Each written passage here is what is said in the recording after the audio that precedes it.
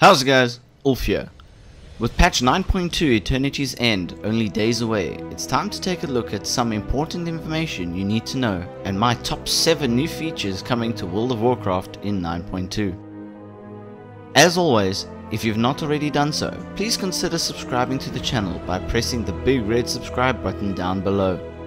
It helps the channel out more than you know, and if you belong to my Discord server, you can get a special subscriber Discord role to distinguish yourself from the rest of the pack.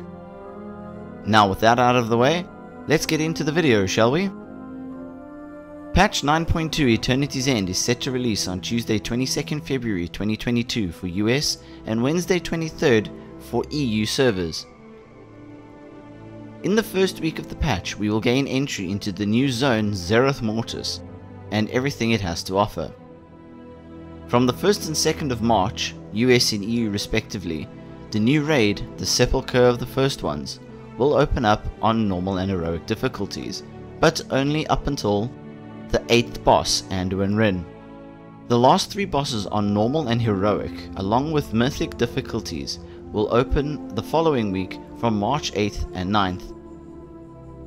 Raid Finder Wings 1 through 4 will start opening on the 8th and 9th and then every two weeks thereafter on the 22nd and 23rd of March, the 5th and 6th of April, and the 19th and 20th of April. That now brings us to the first item on my list of top new features coming in patch 9.2, number 1 being the new raid. During January, I managed to join in with some groups over on the PTR and tried my hand at Mythic raid testing for the first time and although some of the bosses were rather difficult with their mechanics, they were enjoyable and I had quite a lot of fun. And I'm looking forward to defeating them when the raid opens up on live. The bosses that we will be fighting in the Sepulcher of the first ones are the Vigilant Guardian, Skolex the Insatiable Ravener, Artificer Xy'mox, Dausegne the Fallen Oracle, the Prototype Pantheon, Lihuvim the Principal Architect, Halondrus the Reclaimer, Anduin Wrynn, the Lords of Dread, Rygelon, and finally the Jailer himself. Number 2 on the list is the Protoform Synthesis. Protoform Synthesis is a crafting platform very similar in nature to what we had over on Mechagon. There are around 50 mounts and battle pets to collect from this system, and each requires that you find a schematic and the materials required to produce the given item. To gain access to the forge, you need to finish Chapter 3 of Eternity's End campaign, and then put enough research into the cipher of the first ones so that you earn the Daedalic Understanding talent. Whereupon Pocopoc will offer you the Protoform Synthesis quest. There are four items that can be found to power this system. First are the schematics, which can be found everywhere from a standard boss drop to just lying casually out in the open and only need to be found once. Then there are three consumables. A lattice, a rare or glimmer item, and Genesis motes. You will be able to collect these materials from creatures all over Zereth Mortis with the glimmers and motes being account bound so you can trade them between your characters, and the lattices you will be able to buy and sell over on the auction house. It will be interesting to see what these will end up selling for once they start to enter the market. Number 3 on the list are two new accessibility features, mouse over and click casting. Mouse over casting is nothing particularly new, but something that required add-ons and macros to work. Now, it's just a simple option in the accessibility menu. Click casting is also kind of what it sounds like.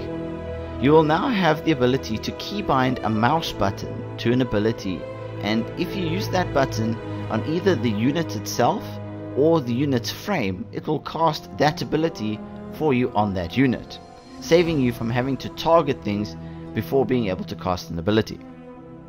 In the number 4 slot is the new Torghast game mode, the Jailer's Gauntlet. This new style has 8 layers each with 8 floors of bosses for you to take on.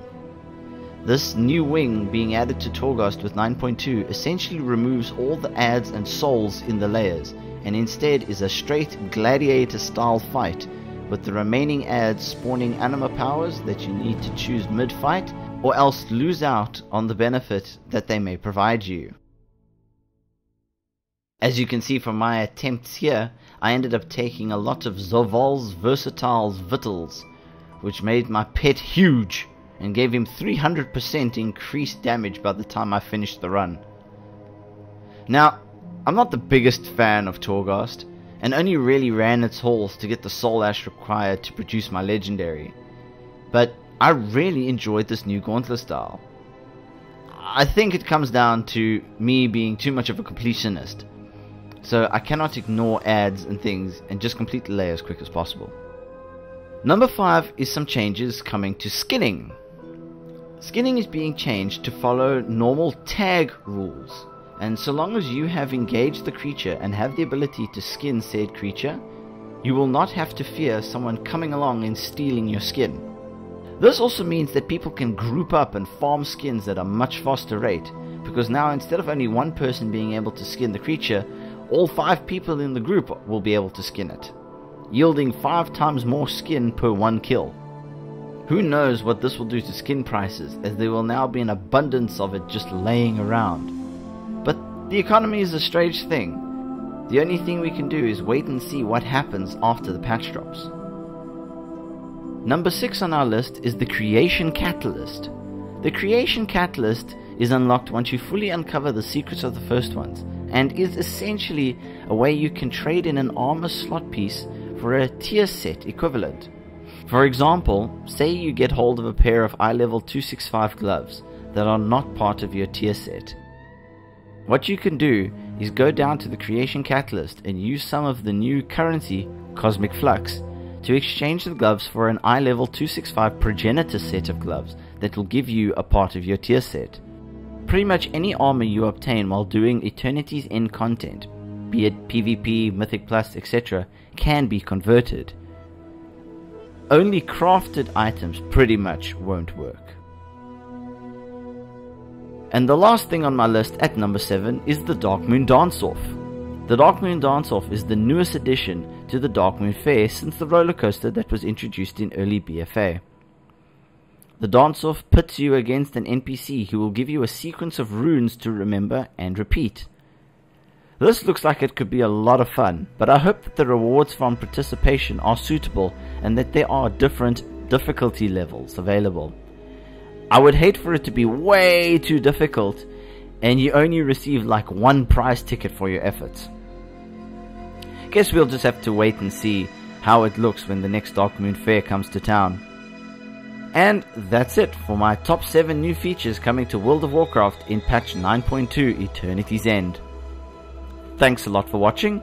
If you enjoyed the video, please consider leaving a like and a comment, subscribing to my channel, and pressing the bell icon to be notified about any future videos. Cheers guys!